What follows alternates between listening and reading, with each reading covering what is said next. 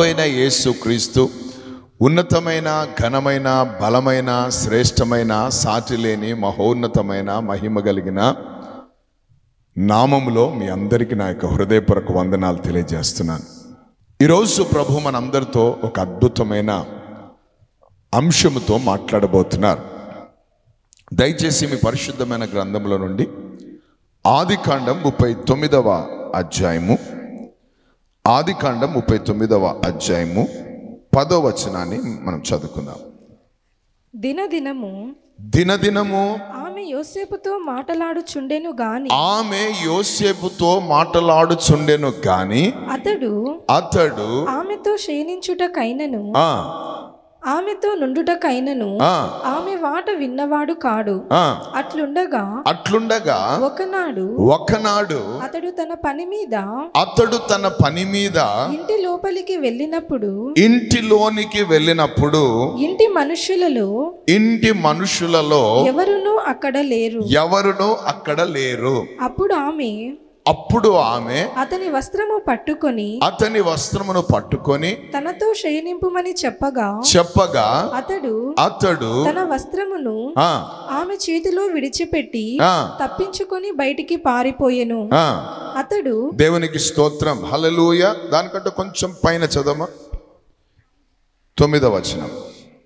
నీవు అతని భార్యవైనందున నిన్ను తప్ప మరి దేనిని నాకు అప్పగింపక నీవు? అతని భార్యవైనందున నిన్ను తప్ప నిన్ను తప్ప మరి దేనిని మరి దేనిని నాకు అప్పగింపక ఉండలేదు? నాకు అప్పగింప ఉండలేదు. కాబట్టి కాబట్టి నేనెట్లు నేనెట్లు ఇంత ఘోరమైన దుష్కార్యము ఇంత ఘోరమైన దుష్కార్యము చేసి దేవునికి విరోధముగా దేవునికి విరోధముగా పాపము కట్టుకొందునని పాపము కట్టుకుందునని తన యజమానుని భార్యతో అనెను. తన యజమానుని భార్యతో నేను అందరూ ఆమె చెప్దాం క్యారెక్టర్ అని చెప్పండి అందరు కూడా. ఆమె క్యారెక్టర్ కాదు. క్యారెక్టర్ హలలుయ గుణము లేక శీలము. దేవునికి స్తోత్రం. ఇది చాలా ప్రాముఖ్యమైనది యవన బిడలకు. యవన బిడ్డలకే కాదు అందరికీ కూడా చాలా అవసరమైనది. ఏంటి?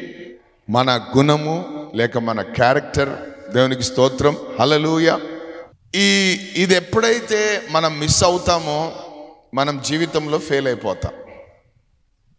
ఏం మిస్ అయితే? క్యారెక్టర్ మిస్ అవుతే. మన గుణము మారితే మనం ఏమైపోతామంటే మన జీవితాలలో మనము పతనం అయిపోతాం మనం నాశనం అయిపోతాం మనం పనికి రాకుండా పోతాం. మనం కనబడకుండా పోతాం. అందుకే మనం ఎప్పుడు కూడా ఏమి కాపాడుకుంటూ ఉండాలంటే మన యొక్క క్యారెక్టర్ని కాపాడుకుంటూ ఉండాలి. దేవునికి స్తోత్రం. కొన్నిసార్లు పాట పాడే అవకాశం రాలేదనుకో ఫీల్ కావాల్సిన అవసరం లేదు. ఎందుకంటే నెక్స్ట్ టైం ఎప్పుడో ఒకసారి వస్తుంది. ఆమె ఒకవేళ పాట పాడే అవకాశం వచ్చి పాటకిచ్చి పాట సరిగా పాడలేదనుకో పెద్ద ఫీల్ కావాల్సిన అవసరం లేదు. నెక్స్ట్ టైం నువ్వు మంచిగా పాడగలవు. ఆమెన్ హలలోయ ఒక ఒకవేళ నీకు సో- సాక్ష్యం చెప్పాలని అవకాశం వచ్చింది అనుకో సాక్ష్యం సరిగా చెప్పలేదు అనుకో నువ్వు ఫీల్ కావాల్సిన అవసరం లేదు. ఎగ్జామ్ రాసావు మంచిగా రాసావు. అయితే ఫలితం సరిగ్గా రాలేదనుకో ఫెయిల్ అయిపోయిన స్థితిలో ఉన్నావు అనుకో నువ్వు ఫీల్ కావాల్సిన అవసరము లేదు. దేవునికి స్తోత్రం. మంచి చదువులు చదువుకొని ఉద్యోగాలు రాని పరిస్థితుల్లో ఉన్నాయనుకో నువ్వు దానికోసం పెద్ద బెంగపడవలసిన అవసరం లేదు ఫీల్ కావాల్సిన అవసరం లేదు కృంగిపోవాల్సిన అవసరం లేదు. దేవునికి స్తోత్రం. మంచి ఉద్యోగం వచ్చి ఒక మంచి స్థితి వచ్చి అయినా అక్కడ నీకు సరి అయిన అవకాశాలు దొరకక సరి అయిన ప్రమోషన్స్ లేక ఉన్నావు అనుకో దానికి కూడా నువ్వు ఫీల్ కావాల్సిన అవసరము లేదు. దేవునికి స్తోత్రం. ఎందుకంటే ఇవన్నీ కూడా మళ్ళా దొరుకుతాయి మనకు. హలలుయ కొంతమంది లోకంలో ఉన్న వాళ్ళు అంటుంటారు డబ్బుదేముందన్నా? ఈరోజు ఉంటుంది రేపు పోతుంది అంటారు. హలలుయ డబ్బుదేముందన్న? ఈరోజు సంపా ఈరోజు పోయింది అనుకుంటే రేపు సంపాదించుకుంటాం. So it it is nothing కాబట్టి అది పెద్ద సంగతి కాదు అంటుంటారు. అయితే అదే రీతిగా ఇవన్నీ మంచివే కానీ ఈ క్యారెక్టర్ అనేది ఉంది చూడండి ఈ గుణం అనేది ఉంది చూడండి ఇది చాలా ప్రాముఖ్యమైనది.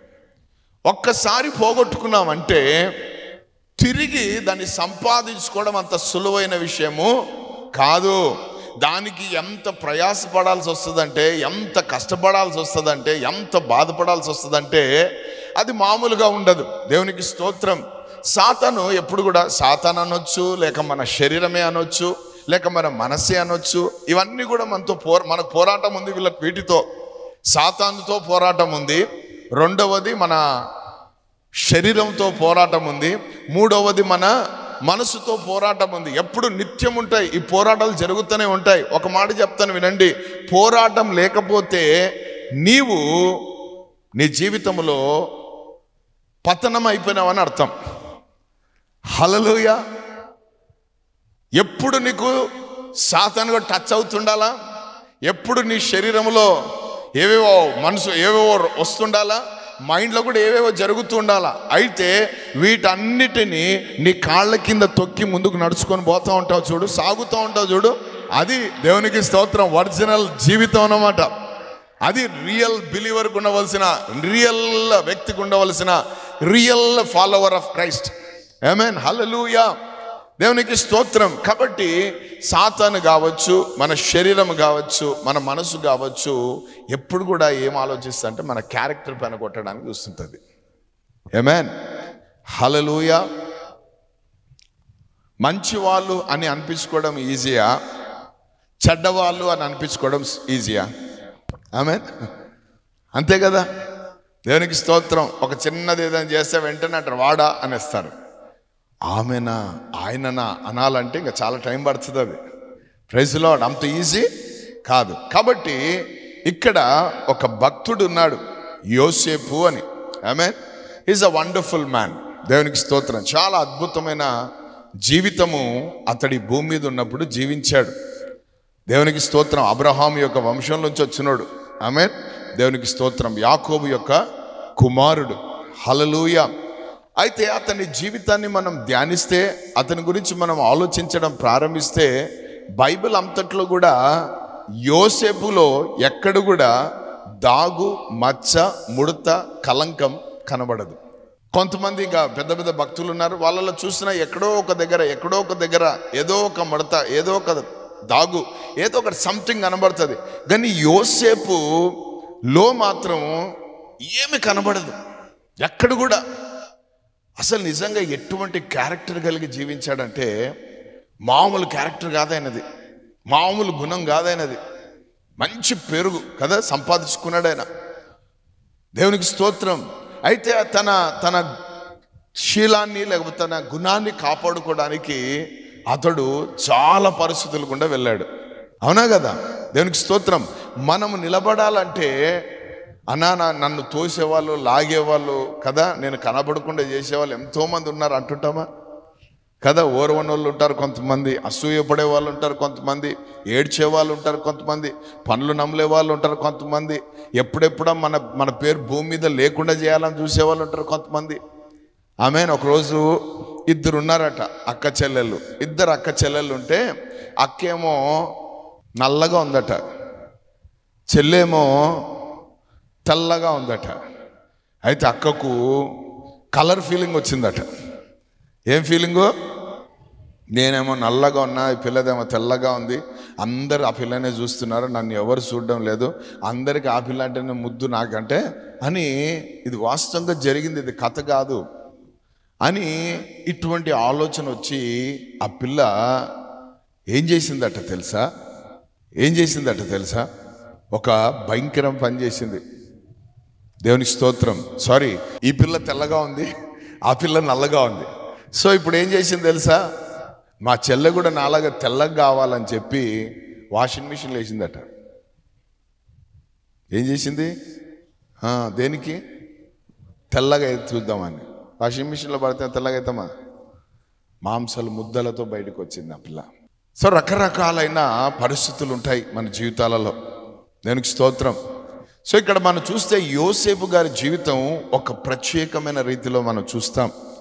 మీరు బైబిల్ అంతా స్టడీ చేయండి బైబిల్ అంతా కూడా ధ్యానించండి ప్రతి ఒక్కరి క్యారెక్టర్ తీసుకుంటూ పోండి అందరిలో ఏదో ఒకటి కనబడతా ఉంటుంది. కానీ దాగు మచ్చ ముడత కలంకం కనబడని క్యారెక్టర్ కలిగిన వారు బైబిల్లో ముగ్గురు కనబడతారు. దేవునికి స్తోత్రం. హలలుయ దాంట్లో మొట్టమొదటివా యోసేపు. దానికి స్తోత్రం. యోసేపు తన క్యారెక్టర్ని కాపాడుకోవడానికి కోసము అతడు ప్రాణం పోయినా పర్లేదు అనుకున్నాడు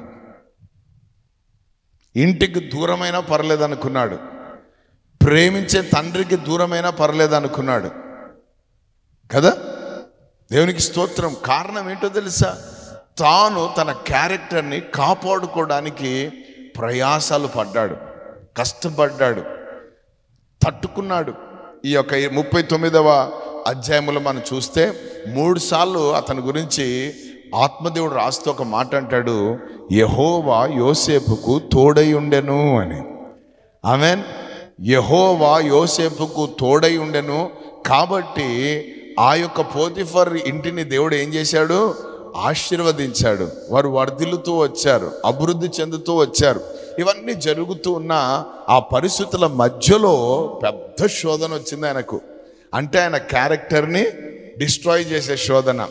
ఐ మీన్ డబ్బు దగ్గర అమ్ అబ్బాయిలేమో అమ్మాయిల దగ్గర అమ్మాయిలేమో అబ్బాయిల దగ్గర. ఇది చాలా జాగ్రత్తగా చూసుకోవాల్సిన వారం. అక్కడే మన పేరు పోయేది.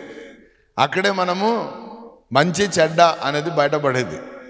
సో ఈ విషయాల్లో మనం చాలా జాగ్రత్తగా ఉండాల. దేవునికి స్తోత్రం. ఒకటి డబ్బు విషయంలో. రెండవది ఆపోజిట్ సెక్స్ విషయంలో. మూడవది మూడవది మనలో ఒకటి ఉంటుంది అదేంటంటే గర్వం. పడిపోయే ముందు ఏం నడుస్తుందట? నాశనానికి ముందు ఏం నడుస్తుందట? అది చాలా ప్రమాదకరమైనది. ఈ మూడిటితో మనం చాలా జాగ్రత్తగా ఉండాలి. డబ్బు ఆపోజిట్. మూడవది గర్వం. ప్రైజ్లో డబ్బు ఎక్కువైనవాడికి ఇంకా ఎన్నో కోరికలు ఉంటాయి. ఆ కోరికలు ఎక్కువైనవాడికి గర్వం ఒకటి ఉంటుంది. కాబట్టి పాపం చేసి మెయింటైన్ చేస్తున్నా చూడని చెప్పేవాళ్ళు లేరా? పులిగోర వేసుకొని కదా? అంటే ఆ గర్వం that is a pride it's very dangerous ఇవి మన క్యారెక్టర్ని చెడగొడతాయి. నువ్వు ఎన్ని పాటలు పాడినా నువ్వు ఎంత ఆరాధన చేసినా నువ్వు ఎంత పరిచర్యలు చేసినా నువ్వు ఎంత మంచిగా బ్రతికినా డబ్బు దగ్గర లూజుకున్నావు అనుకో నీ క్యారెక్టర్ ఇవ్వ డబ్బు మనిషి అయ్యేవాడు అంటారు అయిపోయి నీ క్యారెక్టర్ ఆమె వాడు అబ్బా అమ్మాయిలంటే పిచ్చి అబ్బాయిలంటే పిచ్చి ఓ అమ్మవాడు పిచ్చోడు రావాడు చాలా భయంకస్తుల వాడికి అని అక్కడ ఏమైపోతుంది? వాడమ్మో ఎంత గర్వి తెలుసా? వాడు పాడేది చూసినావా? ఇట్లా నిలుక్కొని ఎట్లా పడతాడో? వాడు ప్రార్థన చేసేది చూసినావా? ఎట్లా నిలుక్కొని ఉంటాడు? అని అంటే ఏ ఏ- ఏం ఏం బయటపడతా ఉంది? మన క్యారెక్టర్. హలలుయ అన్నా లోకంలో శోధనలు ఉన్నాయన్నా భలే కష్టంగా ఉందన్నా మనం కాపాడుకోవడం చాలా కష్టమన్నా. లేదన్నా దావిదు లాంటోళ్ళే సొలమోను లాంటోళ్ళే అని వాళ్ళని చూసుకోవద్దు. యోసఫ్ లాంటోడే చెప్పు. ఫస్టోడు యోసఫు అంతరంతో వచ్చాడు దావీదు సొలముని వీళ్ళంతా. సో మనం ఎప్పుడు కూడా మన యొక్క క్యారెక్టర్ని జాగ్రత్తగా కాపాడుకోవాలి. చెప్తున్న నేను వింటున్న మీరు మనం అందరము కూడా. దేవునికి స్తోత్రం. దేవుడు ఏం చూడాలనుకుంటున్నాడు మనలో అని అంటే శోధనల మధ్యలో నువ్వు సువర్ణంగా బయటికి రావాలని చూస్తున్నాడు దేవుడు. విలువైన వస్తువుగాను బయటికి రావాలని చూస్తున్నాడు. దాగుతో మచ్చతో ముడతతో కాదు కలంకముతో కాదు కానీ నిందారహితుడుగా నువ్వు బయటికి రావాలని. ప్రైజ్ లాడ్ కొన్నిసార్లు మనం క్యారెక్టర్ కాపాడుకునేటప్పుడు మనకు ప్రమాదాలు జరుగుతాయి. గుంతలో నెట్టేస్తారు మనను. కొన్నిసార్లు మనను అమ్మేస్తారు. కొన్నిసార్లు మనను కనబడకుండా చేయాలని పన్నంగాలు పన్నుతారు. ప్రైజ్లాడు కొన్నిసార్లు మనం చెయ్యని దానికి శిక్ష కూడా అనుభవించవలసిన పరిస్థితులు వస్తాయి. ప్రైజ్ లాడ్ హలలుయా హలలుయా కానీ మన క్యారెక్టర్ మనం కాపాడుకున్నాం అనుకో ఎన్ని పోగొట్టుకున్నట్టు ఉంటామో ఎన్ని దూరం అయిపోయినట్టు ఉంటాయో ఎన్ని అయిపోయినట్టు కనబడతాయో వాటన్నిటికీ రెట్టింపు దేవుడు తీసుకొని వచ్చి కాళ్ళ దగ్గర పెడతాడు. హల్లెలూయా హల్లెలూయా ఏమేన్ యోసేపు జీవితంలో అదే జరిగింది. ఈ ముప్పై తొమ్మిదవ ఆ అపోతిఫర్ యొక్క భార్య అతన్ని శోధించడం ప్రారంభించింది శరీర సంబంధమైన విషయాల్లో. ఎప్పుడైతే శరీర సంబంధమైన విషయాల్లో శోధించడం ప్రారంభించిందో ఎంత క్లియర్గా పరిశుద్ధాత్ముడు రాశాడంటే ఆ ఇంట్లో ఎవ్వరు లేరట. No one is there. Amen. ఒంటరితనంలోనే తుంటరలం అవుతాం. ఒంటరితనంలో సెల్ దొరికిందనుకో ఏమైపోతాం? సెల్లోకి వెళ్ళిపోతాం. కదా? ఒంటరితనంలో పాపిష్టి ఆలోచనలు ఎన్నో వస్తాయి. ఒంటరితనంలో ఎన్నో రకాలైన తలంపులు వస్తాయి. ఒంటరితనంలో ఎన్నో రకాలైన ఆలోచనలు వస్తాయి. ఆ ఒంటరితనములో ఈయన ముసలోడు కాదు మంచి యవనస్తుడు. ఈజ్ అన్ యంగ్ మ్యాన్ అయితే మంచి యవన కాలంలో ఉన్న వ్యక్తికి ముందు శోధన వచ్చి నిలబడింది. అయితే ఆ శోధన ముందు ఈయన ఏం చేస్తున్నాడు తెలుసా? ఈయన ఏం చేస్తున్నాడు తెలుసా? తన క్యారెక్టర్ని కాపాడుకుంటున్నాడు. ఆమె శోధన పైన పడినా అతడు పదిలమ్మగా ఉండి పరిగెడుతున్నాడు దేవుని సన్నిధిలోకి. హలలుయ ఈ పాపిష్టి పని చేసే దానికంటే ఈ భయంకరమైన వ్యవహారంలో ఉండేదానికంటే ఈ భయంకరమైన ఆకర్షణలో ఉండిపోయేదానికంటే ఎందుకంటే ఆయన ఏం చూస్తున్నాడు తెలుసా? భవిష్యత్తును చూస్తున్నాడు. కాన్సిక్వెన్సెస్ చూస్తున్నాడు.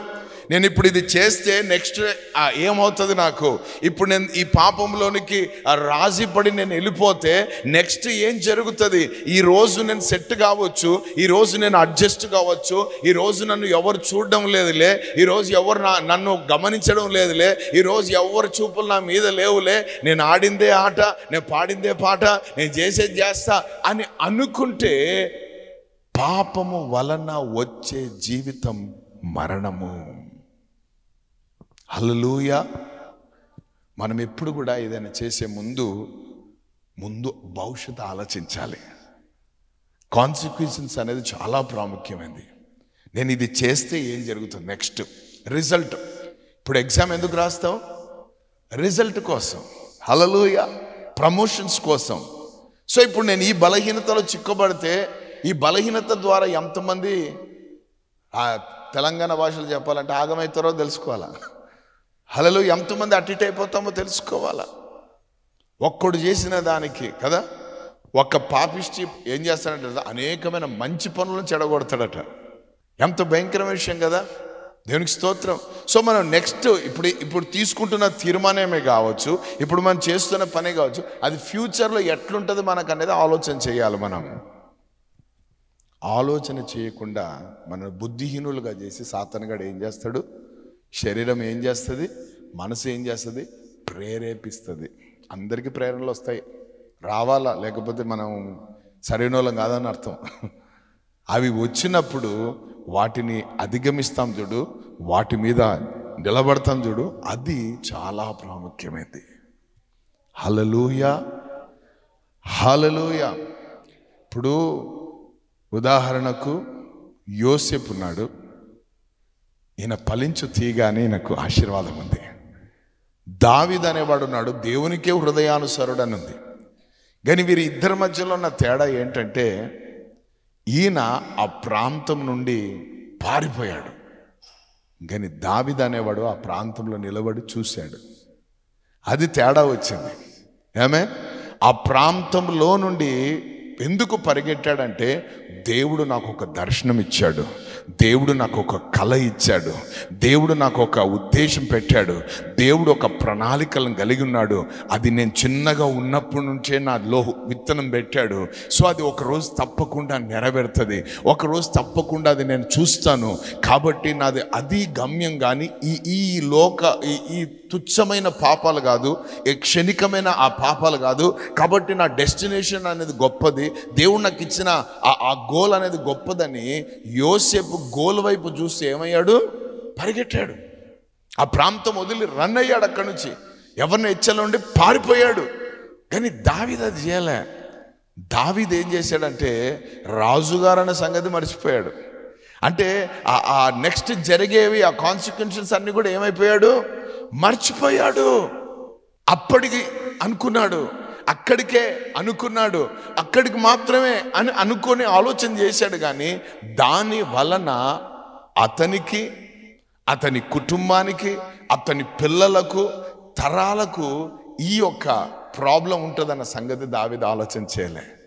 ఇప్పుడు మనము యోసేపు అనగా నిన్న మనం ఎంత గట్టిగా చెప్తున్నాం దాగులేనోడు మచ్చలేనోడు కనకం లేనోడు మృతలేనోడని ఎంత ఎంత అతని గురించి ఒక ప్రత్యేకంగా చెప్తున్నాం కానీ దావిద దగ్గరికి రాగానే ఒకలాంటి కదా ఎంత ఉన్నా దేవుని హృదయానుసుడైనా దేవుని మందసం పెద్ద డ్యాన్సులు చేసినా బెత్సెబా అన్న ఒక చాప్టర్ నిలబడిపోయింది ఆమె జీవిత ఆమె జీవితంలో. అది చాలా బాధాకరమైన విషయం. అవునా కదా? ప్రైజ్ లాడ్ అంటే ఆ కాన్సిక్వెన్సెస్ని ఆయన ఆలోచన చేయలేదు. నేను ఇది చేస్తే నెక్స్ట్ ఏం జరుగుతుంది? ప్రైజ్ లాడ్ హలలుయ ఒక యవనస్త్రాలు వచ్చి నా దగ్గర ఏడుస్తా ఉంది. మా ఆయన కొడుతున్నాడన్నా తిడుతున్నాడన్నా. దాని ముందు ఆమె ఆయనను ప్రేమించిందట. నేను నన్ను ప్రేమించి కదమ్మా నువ్వు చేసుకున్నావు అని అంటే అవునన్నా అన్నది అట్లెట్లా ప్రేమలో పడ్డావమ్మా అన్నాను. ఏమి లేదన్నా వాడు ఇట్లా కోసుకున్నాడట. కోసుకొని రెండు సుక్కలు అట్లా చూపించినాడంట. చూపించగానే ఏమైంది ఏమైంది? హృదయం అంతా మార్పిడి చెందింది. తల్లిదండ్రులను మర్చిపోయింది అన్నల తమ్ములను మర్చిపోయింది ఇంక అన్నీ మర్చిపోయి ప్రేమలో పడింది. నేను అప్పుడే అన్నాను అమ్మా రక్తం చూపించి ప్రేమను కనపరిచాడంటే చేసుకున్న తర్వాత ప్రతిరోజు నువ్వు చూపిస్తాడు నీకు రక్తం అని చెప్పిన. ఏం లేదు ఆమె. అన్నకి ఏం తెలుసు పిచ్చోడు అని అనుకుంది. అని దాని తర్వాత ఆరు నెలలు మూడు నెలలకు వచ్చింది. దేంతో? చేతులంతా కాట్లే. ఏమంటాడా? సైతానా? సైతానా అంటాడంట. కోసేటప్పుడు. చూసారా అది లోక సంబంధమైనవి. క్షణికంలో అప్పుడప్పుడు ఆలోచన ఏందో పెద్దగా ఫీల్ అయిపోయి ఎందెందో జరిగిపోయినట్టు కదా తలంచి అప్పటి కాదు. దేవుని స్తోత్రం? ఇప్పుడు ఈ సినిమాలు తీసే వాళ్ళు కూడా ఎట్లా అంటే వాళ్ళకు ఆ వంద రోజులు నడుస్తే చాలనుకుంటారు వాళ్ళు. ఆ వంద రోజులు ఎంతమంది కొంపల ముంచేస్తారో ఎంతమంది జీవితాలు పాడైపోతాయో ఎంతమంది యవనస్తులు రోళ్ళ పాలు అవుతారో ఎంతమంది షా యవనస్తుల జీవితాలు శాపాల పాలైపోతుందో కదా? ఈరోజు ఈ సినిమాలో హీరో ఒకలాగా ఉంటాడు నెక్స్ట్ సినిమాకు వేరేగా వేషంలో ఉంటాడా మంచి. నువ్వు ఈ వేషాన్ని ఫాలో అయ్యే లోపల వాడు వేషం మార్చింటాడు నువ్వు మార్చమనే లోపల వాడు ఇంకొక వేషంలో పోయి ఉంటాడు. ఇంక నీ జీవితమే వేషం వేషం వేషం వేషం. అందరి దగ్గర దోషం. నీ జీవితం పెద్ద దోషం. కదా? చూసారా? అవి మనం చూడం. మనం ఏంటంటే ఎంజాయ్ ఎంజాయ్ చేయాలన్నా. ఏంటంట? ఎంజాయ్ గట్టిగా నిర్వచనం ఎంజాయ్కి ఏంటో చెప్పండి అంటే ఎవడు చెప్పాడు? ఎంజాయ్ అంటే ఎంజాయ్నా అంటారు. దేవునికి స్తోత్రం. అది లోకం. ఎందుకంటే వాళ్ళకి తెలియదు దాని లోపల ఉన్న డెప్త్ ఏంటో. బట్ ఒక అద్భుతం ఏంటంటే మిమ్మల్ని అందరినీ చీకటిలో నుండి ఆశ్చర్యకరమైన వెలుగులోనికి దేవుడు దాటించి నడిపించాడు ఇక్కడికి. హలలుయా మీరు ఆయనకు బహుప్రియులు. ఏమే మిమ్మల్ని ప్రేమిస్తున్నాడైనా ఈ లోకంలో ఉన్న వారి కంటే ఎక్కువగా ప్రేమిస్తున్నాడు. వాళ్ళైతే ఊరికే ఒక గీతతో చిన్న రక్తం పొట్టేమో ఆయనైతే నడినెత్తి మొదలుకొని అరికాల వరకు గాయాలతో నిన్ను నన్ను ప్రేమించాడయ్యా. రక్తమంతా కార్చాడు నీ కోసం నా కోసం. ఆయనలాగా మీ మమ్మీ పెట్టలేదు ఆయనలాగా మీ డాడీ పెట్టలేదు ఆయనలాగా ఈ లోకంలో ఎవరు కూడా చూపించలేదు ప్రేమ.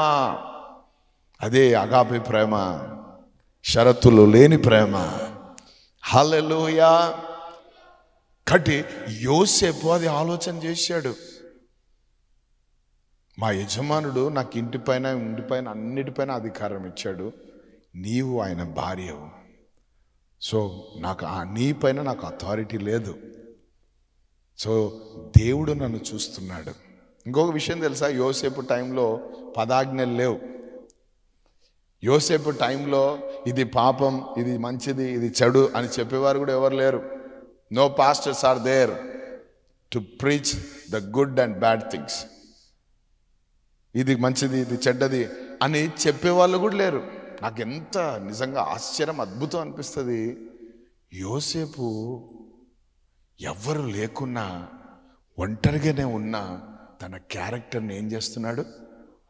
మనకు ప్రతిరోజు ప్రసంగాలు వింటుంటాం. ప్రతిరోజు వాట్సాప్లలో. షార్ట్లు చూస్తుంటాం రీళ్ళు చూస్తుంటాం అన్నీ చూస్తుంటాం వాళ్ళ పాపంలో ఉంటాం బలహీనతల్లో ఉంటాం. ఆయనకి ఎవరు చెప్పేవాళ్ళు లేరు. మమ్మీ లేదు డాడీ లేడు బ్రదర్స్ లేరు. ఒక ఒక అన్య దేశంలో ఒక అన్యుడిగా పరాయిగా ఇంకోటి ఏందో ఒక బానిసగా ఉన్నాడు. స్లేవ్. అటువంటి పరిస్థితి. కానీ దేనికి ప్రాముఖ్యతనిచ్చాడైనా దానికోసం మనం చనిపోయినా పర్లే అనుకున్నాడు యోసేపు. ఆమె యజమానురాలు ఆమె ఏమైనా చేయగలదు? ఎందుకంటే బాస్ కదా. So she having authority she can do anything ఏదైనా చేయగలదామే అని అన్న పరిస్థితులు ఉన్నాయి. కొంతమంది ఆ ములాజాలకు పోతూ ఉంటారు. ఈమె ములాజాకు పోలేనా? అమ్మో. నేను నేను మాట్లాడుకుంటే నేను నేను నల్లాబాను ఇంట్లో చెప్తాడేమో ఇంట్లో చెప్తాడేమో ఇవన్నీ ఏం లేవు యోసేపుకి.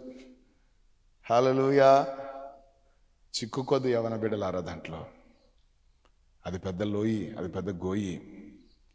బ్లాక్ మైళ్ళతోటి లోకం పనిచేస్తూ ఉంటుంది. హలలుయా అందుకే మనం ఎప్పుడు అది అది ఆలోచన చేసి అటువైపు మనం చూడడానికి కూడా ఇష్టపడద్దు. అటు సైడ్ కూడా ఆలోచన చేయడానికి మనం ఏం చేయొద్దు అవకాశం ఇవ్వద్దు. అపవాదికి చోటు ఇవ్వద్దు. శరీరానికి చోటు ఇవ్వద్దు. మనసుకు చోటు ఇవ్వద్దు. మనం ఎప్పుడు కూడా నేను యేసు రక్తం చేత కడగబడ్డాను. నేను యేసు పరిశుద్ధాత్మ చేత నేను నింపబడ్డాను. దేవుని వాక్యం నాలో నివసిస్తూ ఉన్నది. కాబట్టి నేను ఇటువంటి పాపాన్ని నేను చెయ్యను నేను ఇటువంటి వాటికి పోను. నేను ఇటువంటి వాటికి బానిస కాను అని అది ఎప్పటికీ మన హృదయంలో ఉండిపోవాలి? చెప్తేది కాదు అది. స్టాంప్ అయిపోవాలా లోపల? ఏమే? అందుకే మన నడతలు దేంతో శుద్ధీకరించుకుంటుండాలా? ప్రతిరోజు దేవుని వాక్యాన్ని జాగ్రత్తగా చూసుకుంటాం. ఏమైనా? అప్పుడప్పుడు చదవడం కదా వాక్యం. మమ్మీ డాడీ చదువుకున్నావా? అనేది కాదు. హలలుయా లేస్తేనే ఎట్లయితే ఫేస్ కడుక్కొని బ్రష్ చేసుకుంటున్నావో నువ్వు లేస్తేనే వాక్యం చదవడం ప్రార్థన చేయడం అలవాటైపోవాలి? It is a good habit amen hallelujah దాని తర్వాతే చదువులైనా దాని తర్వాతనే ఇంకా ఫ్రెండ్స్ అయినా దాని తర్వాతనే ఏదైనా. ఏమేన్ కాబట్టి అవి ఏం చేస్తాయంటే మనల్ని కాపాడతాయి. అవి ఏం చేస్తాయంటే మనం భద్రపరుస్తాయి. దేవనామానికి మహిమ కలుగునుగాక హలలుయా హలలుయా హలలుయా దేవనామానికి మేము కలుగు గాక. ఒక ఒక పాస్టర్ గారు ఒక రెస్టారెంట్కి పోయాడట. ఒక హోటల్కి వెళ్తే అక్కడ తెలిసిన బిలీవర్ ఒక ఆయన ఉండి అబ్బా మా పాస్టర్ వచ్చినాడని మంచి మంచి వంటకాలన్నీ తెచ్చిపెట్టి ఆయన బాగా సంబరం ప్రార్థన చేయించుకొని వెళ్తుంటే పాస్టర్ గారు ఒక బైబిల్ ఇచ్చారట ఆయనకి గిఫ్ట్గా. బైబిల్ ఇచ్చేసి ప్రార్థన చేసేసి వెళ్ళిపోయారట. దాని తర్వాత ఏం జరిగిందంటే వీళ్ళు ఇంకా హోటల్ క్లోజ్ చేసుకునే దాని టైంలో పాస్టర్ కదా అని వెండి చెంచాలు తీసుకొని వచ్చి ఇచ్చినాడట. ఏం పెట్టాడంట? వెండి వెండివి స్పూన్స్. తెచ్చిపెట్టి దాన్ని సర్వ్ చేశాడంట. పదకొండు స్పూన్లు ఉండేదాల్సిన పది స్పూన్లు మాత్రమే ఉన్నాయంట. ఎన్ని ఉండాలా? పది పదకొండు స్పూన్లలో పదే ఉన్నాయంట. ఒకటి మిస్సింగ్ అట. ఒకటి మిస్సింగ్ కాగానే ఇక వీడికి ఆలోచన వచ్చిందంట. ఏరా లాస్ట్ పాస్టేగా పెట్టినాం ఈయన ఎట్లా ఎత్తుకపోయినాడా ఏంది? మనం మంచోడు అనుకుంటే ఈయన జోబ్ దొంగ ఉన్నట్టున్నాడే. కదా? దేవుని స్తోత్రం. అవి ఎత్తుకుపోయినట్టున్నాడు. అని ఇంకా రకరకాలైన ఆలోచనలు. రకరకాలుగా మనం అడుగుదామా అడుగుతే మనం మళ్ళీ తీసుకోకుంటే బాగుండదు. ఆయన మిస్ అయ్యే ఛాన్స్ లేదు. ఆయననే లాస్ట్ కస్టమర్. ఆయన దగ్గర ఉండాలా? ఆయన ఎత్తుకుపోయింది ఏమైనా అవసరం ఉండేనా చెప్పింటే బాగుండు కదా అది కదా ఇది కదా అని ఓ వాడు మదన పడుతున్నాడంట ఫుల్గా జీజస్ క్రైస్ట్ అలో ministries faith world Bible college course సిటీహెచ్ second batch. అర్హత పదవ తరగతి పది నెలలు. అడ్మిషన్లు ప్రారంభము. ఆగస్ట్ రెండు వేల ఇరవై మూడు. హాస్టల్ వసతి కలదు. వివరములకు జీజస్ క్రైస్ట్ అలో ministries founder reverend P Joel Bharath Kumar garu. Phone number nine eight four nine six zero double one zero seven. స్థలం పరిశుద్ధాత్మ ప్రార్థనా మందిరం చౌటపల్లె బైపాస్ ప్రొత్తుటూరు